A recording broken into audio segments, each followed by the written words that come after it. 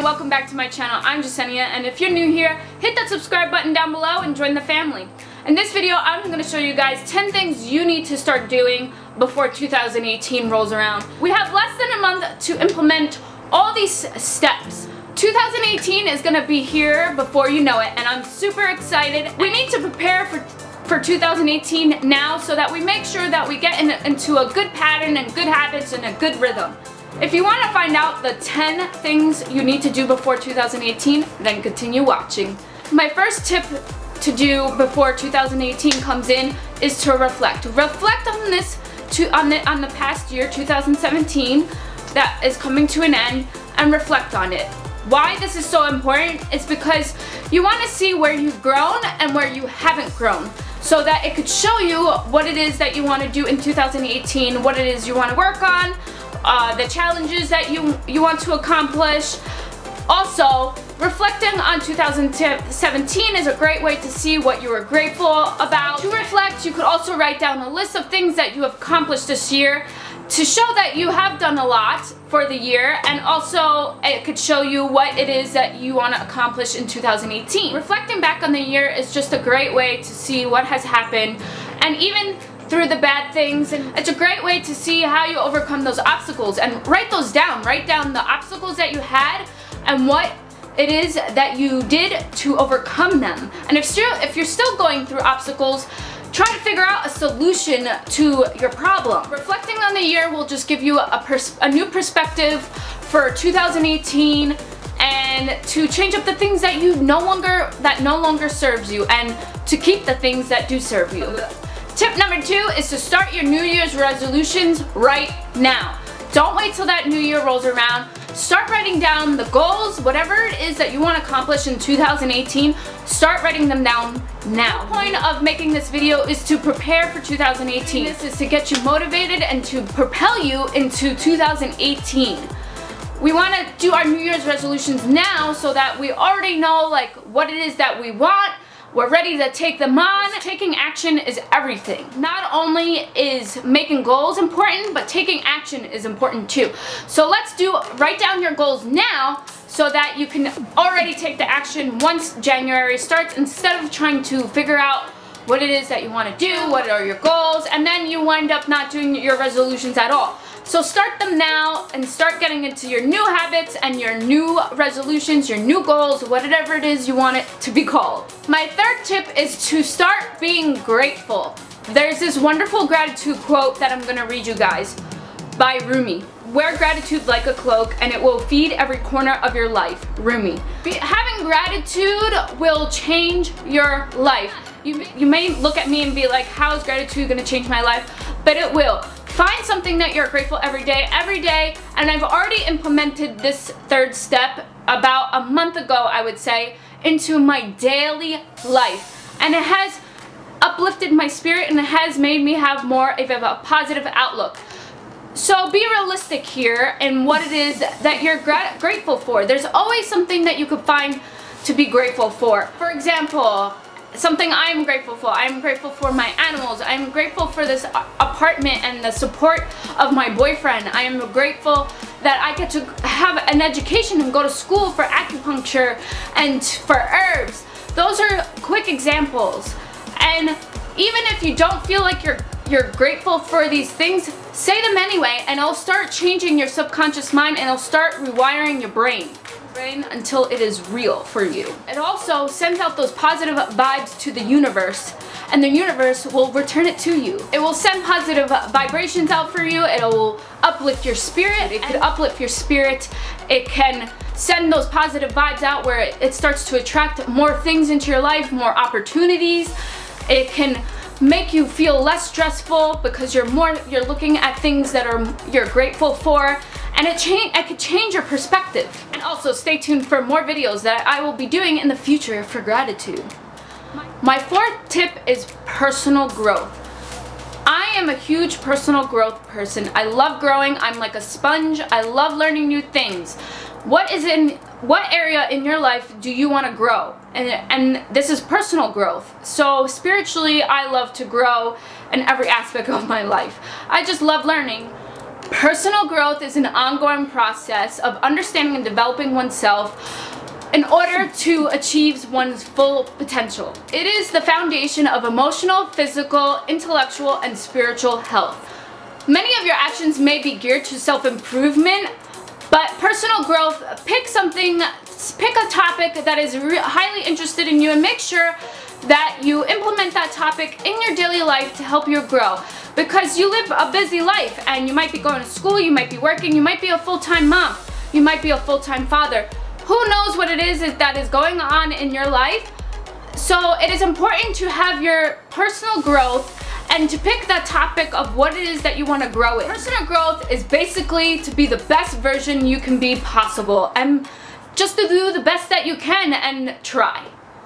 My fifth tip to do before 2018 rolls around is to raise your vibes. Yes, your your your presence is everything. Your presence is everything and everything that you do. So raise your vibes and different ways to raise your vibes is to use essential oils, to get Himalayan salt lamps, to read spiritual self-improvement books, to surround yourself with positive people. There's so many different ways that you could raise your vibes.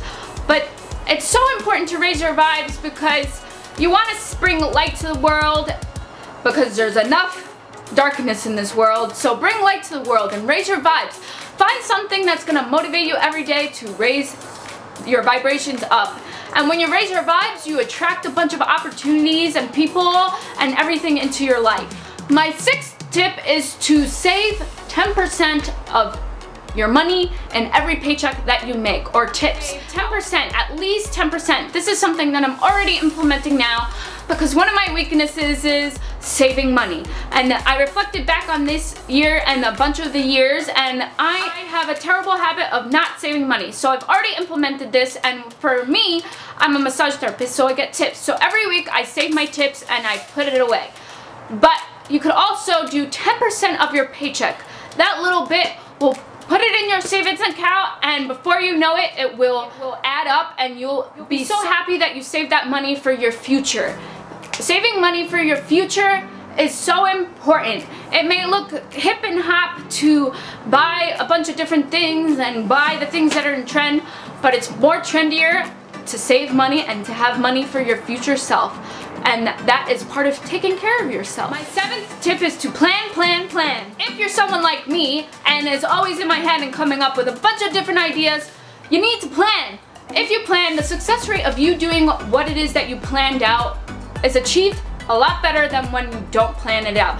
When I use my planner and I plan everything out, when I plan out the month ahead and then I plan out every day of what it is that I'm doing, it gives you that visualization of what you have to get done so that you don't slack and start watching TV, so that you you stop being motivated and so that you wind up not doing anything at all. So planning is a great way to keep you motivated, to keep you your your goals intact and to tackle your day and tackle your month. There's all different ways you could plan. You could you get a journal, you could get a dry erase board, you could do both, whatever it is. And even if your plans don't work out, at, at least you can move things around and at least you already have set the intention of the things that you want to get done. My eighth tip is to create a vision board. Making a vision board is fun and easy. You could do this with your friends, you could uh, do this with your family, or you could just do it by yourself whatever it is. I love making vision boards. I've been making vision boards for years and I have accomplished things that have been on my vision boards. Moving to Arizona is one of those accomplishments and I'm here.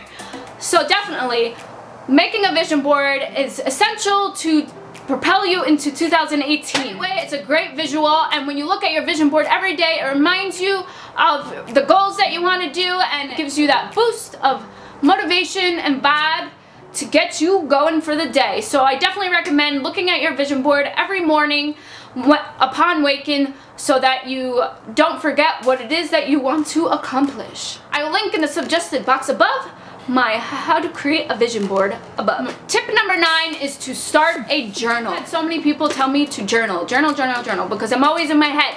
So definitely if you're somebody who's always in your head, I've already said this, but definitely get a journal. Journaling will help you reflect on the day, what it is that you you had a weakness in, what it is that you had a strength in. And it's just a great way to release tension and stress and to vent, to vent for the day. And it's just a, a great way to release emotions, and it's a great way to just dump everything, dump all this, the negativity. If you're stressed out that day, it's just a great way to dump it all out so you, you don't carry it with you. Or it's just a great way to have your creative thoughts or your imagination, whatever it is that you do that you like to write about, definitely start a journal for every day. Even if it's one page, a couple sentences, you want to create a habit of journaling a little bit every day. My 10th tip for you guys before 2018 comes is to believe in yourself. And yes, there will be days that you don't believe in yourself and there will be days that you feel like you're on fire. Find out what it is that you're hungry for. Find out what it is that you love about yourself. Whatever it is, uh, whatever it is that you're doing, whatever that it is that you want to accomplish, believe in yourself. Don't rely on anybody else to empower you or to make you believe in yourself. It definitely surround people that will empower you and give you positive vibes and love you, but don't rely them. Bet on yourself and believe in yourself. Uh, this is so essential for everybody. And there will be days that you don't believe in yourself and you're gonna have to find out ways to boost up your vibes again and to believe in yourself. Love yourself because you're gonna be with yourself for the rest of your life. You have a talent, you have a special gift to bring into this world.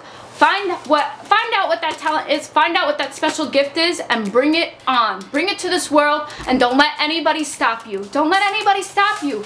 You are you and there's no one like you in this entire world. You are you and believe in yourself. It's so important to believe in yourself. And it might take some time to get up to believing in yourself, to start believing yourself is to start self-loving yourself and doing things for yourself, taking some me time, whatever it is that you need to do to get yourself loving yourself and to start believing yourself. I believe in you. I believe in you. I believe in you and everything that you do and I believe that you have a special gift and a talent in this world.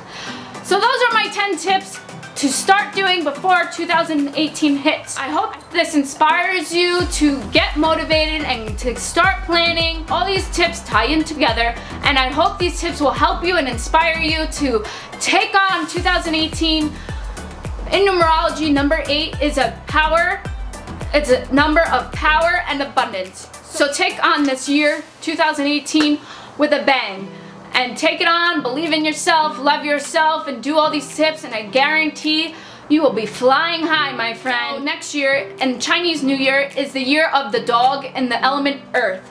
So we were just in rooster, in the element fire rooster, and the year before that we were in fire monkey. So it's a, fire is like a lot of chaos, monkeys are a lot of chaos, roosters are very cocky and loud and cause chaos too. So now we're going into the earth and dog. Dogs are loyal and calm and earth is grounding. So 2018 is gonna be a wonderful year. All right guys, namaste. The light in me honors the light in you. See you guys in my next video, bye!